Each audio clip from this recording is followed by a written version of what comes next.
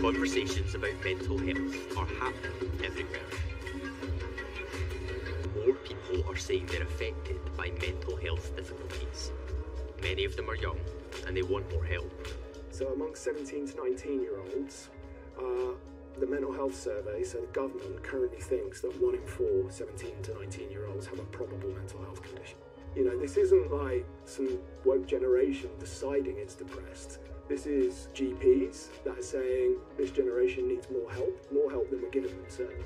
More help, but what kind? For some, it's antidepressants. Use has been rising here on here, and it's become a big part of the conversation online. Hello, you're listening to BBC Radio 1 with me, Katie Thistleton. Katie's a Radio 1 DJ who uses her platform to chat about her own experiences. One in seven people in the UK take an antidepressant, and until recently, Katie was one. I've always been really pro antidepressants, and I feel like that's the way on social media now. I've posted a picture of my antidepressants, all the comments were people saying, Great, yeah, I'm going to be on them for life, they're great. Um, and that's always been my outlook.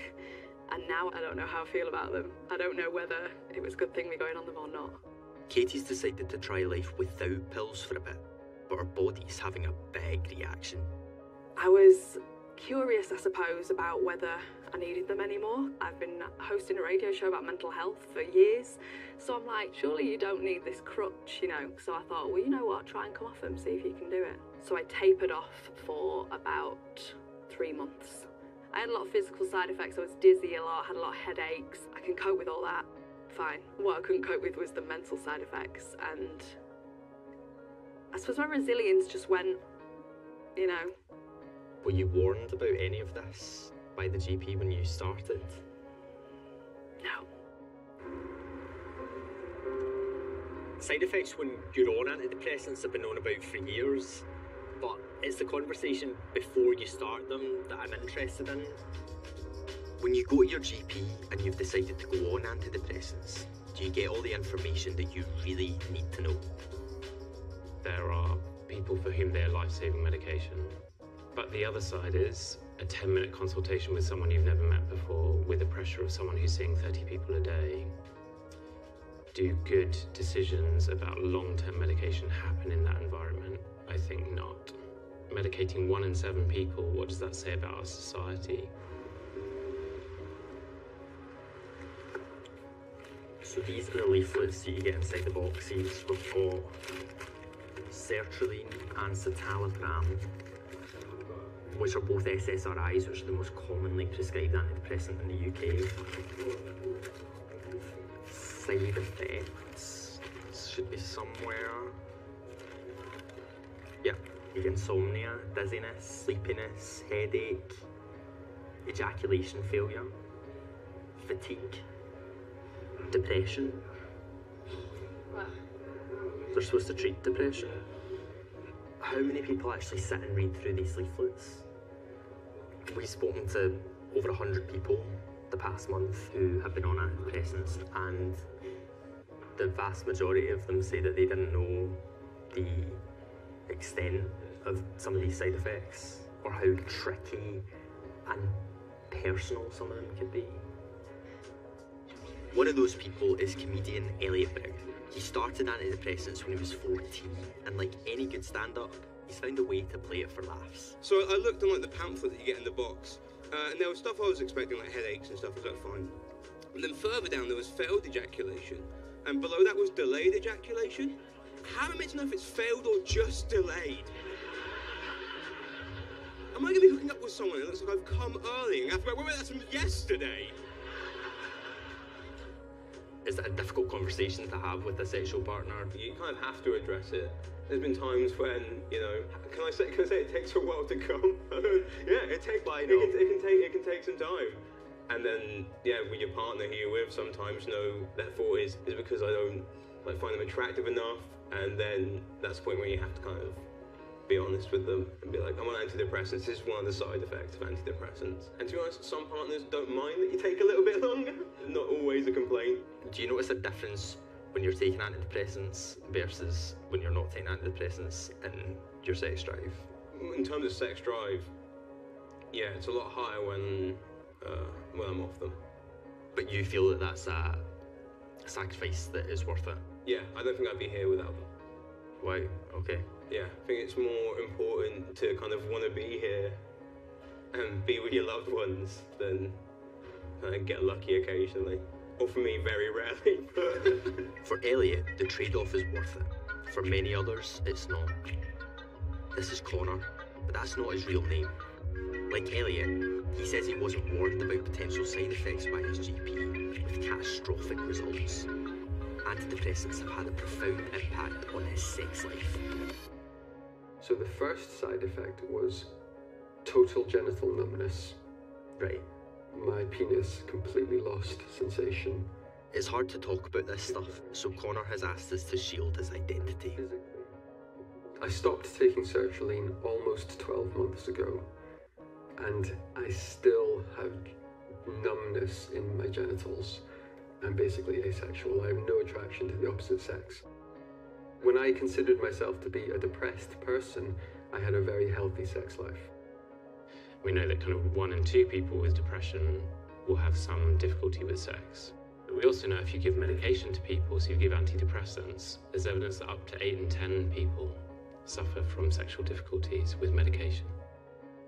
When did you start noticing the side effects? within 48 hours.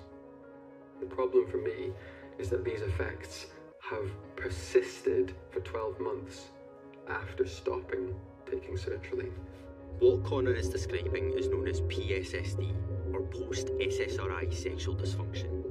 PSSD isn't recognised as a medical condition by the NHS, but these are just some of the thousands of people who say they suffer from it, and they say support for them is limited.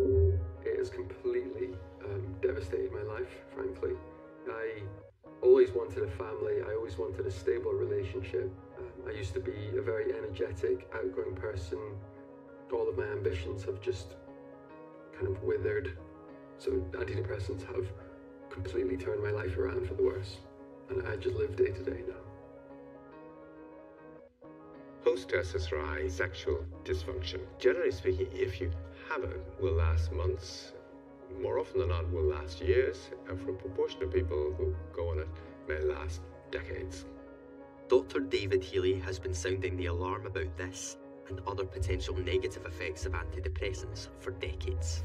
The risk on the drug is nine or ten times greater than the risk on sugar pill. In particular, he's concerned about prescribing these to under 18 year olds. Should kids whose brains are still developing really be given them at all? They'll interfere with your growth. They'll interfere with your sexual uh, uh, development at a key point when you're going through puberty and things like this. Uh, and we really don't know the consequences of doing that.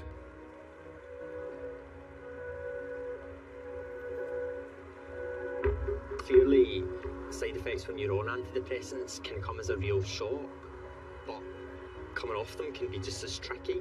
Like Katie Thistleton, she says she wasn't warned about how your body can become dependent on these drugs.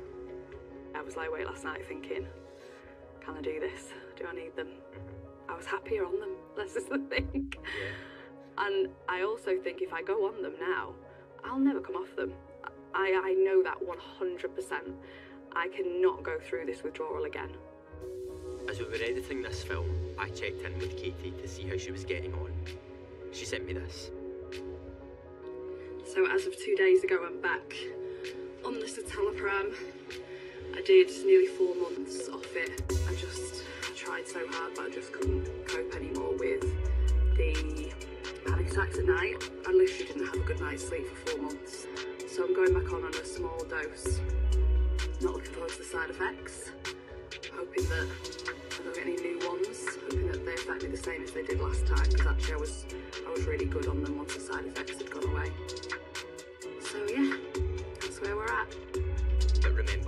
If you're thinking of changing or coming off your medication, speak to your doctor first.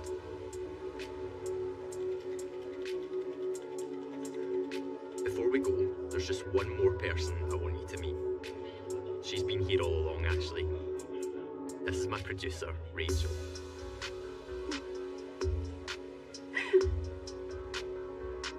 so, I have been on Citalopram for 12 years now. I'm 30, which means that I was 18 when I started. Because I've been on the medication so long, it's not something that's constantly on my mind. It's just part of my daily routine, like everything else, eating and sleeping and popping a pill before I go to bed. But making this film, it, it just got me thinking, I guess. I, I ended up on the phone to my mum last night and I was just talking about all the listed side effects, you know. I've always considered myself to be super forgetful and quite absent minded sometimes, and that annoys me about myself. But know, I'm, I'm asking myself, is that part of me? Or is it a side effect of a medication that I've been taking for a really long period of time? Um, and I don't know the answer to that, which is quite a scary thing. But I'm now in a place where I think I want to find out what lies beneath the citalopram, and I don't know what that's going to be. It might be terrible. Maybe I'll be an absolute anxious wreck, or maybe I'll find this new version of myself that I pure love. So I'm quite looking forward to finding it.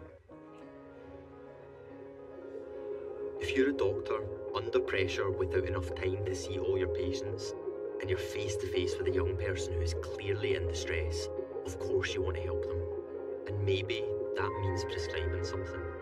But we're told that in many cases people aren't being warned about the side effects that come with taking the drugs. So if you don't have all of that information, how can you make the right decision for you?